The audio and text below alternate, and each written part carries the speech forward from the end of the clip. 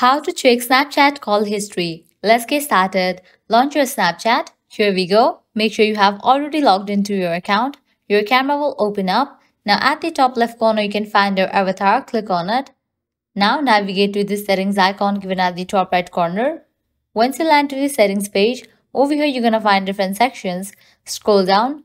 You'll find the option of My Data under Privacy Controls. Go ahead and open this option. With that, you land to this page. Now from here, you can easily select the option of Snapchat call history to download. If you cannot find the option of Snapchat call history, what you can do is check in for the option of chat history. After you select it, click on the option of next. Now from here, you can easily select the date range. Likewise, confirm your email address. Once you fill this, click on submit. With that, you have just requested for the file download. It will take some time for the preparation process. After completion of its preparation, you'll be notified by Snapchat support team through your email address. You just have to open that file and download it. With that, you're gonna find all of your Snapchat call history. Well, this way you can easily check Snapchat call history.